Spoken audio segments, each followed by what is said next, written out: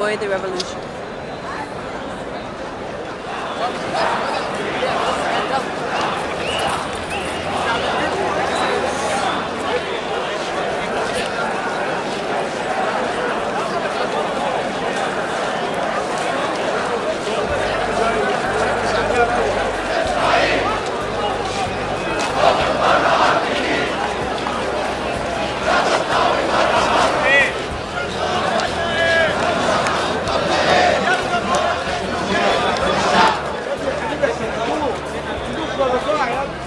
Yeah, I want to take that one.